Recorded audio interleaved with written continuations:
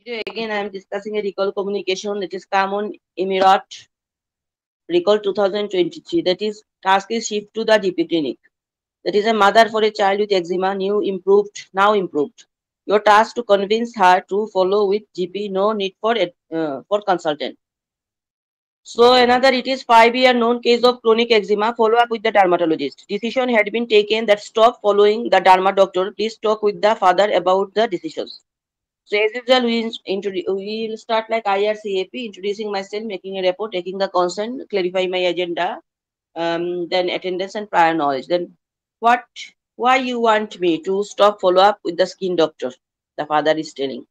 Actually, it is a chronic disease with on and off pattern. Diagnosis of eczema came clear. Medications and follow up are known to the GP. So if he aware his, with the diagnosis and medications, he will be aware of the follow up. So first of all, uh, already it is confirmed that it is a diagnosis of chronic eczema and uh, it is an on and off problem mm, and um, all the medication and follow-up is known by uh, GP doctor. So if he aware of the diagnosis that it is a chronic eczema, he can follow up all the medications, everything regularly. Now father is telling, telling that doctor, before skin doctor, I was following with the GP doctor and symptoms were not controlled until we go to the skin doctor. So before the child was on the GP follow-up, but condition worsened. That's why they go the derma skin doctor and now condition improved. Actually, there are indications of referral to the skin doctor. First, if the GP not sure about the clear diagnosis of the eczema.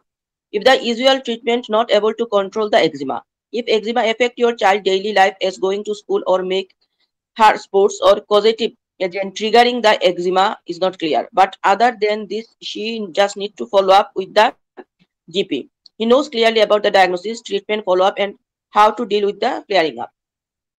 So that is actually there are some indication of referral of a skin doctor. What are the indications? If GP doctor is uh, clearly have no diagnosis that it is eczema, number one. Number one, this uh, usual treatment not able to control the eczema.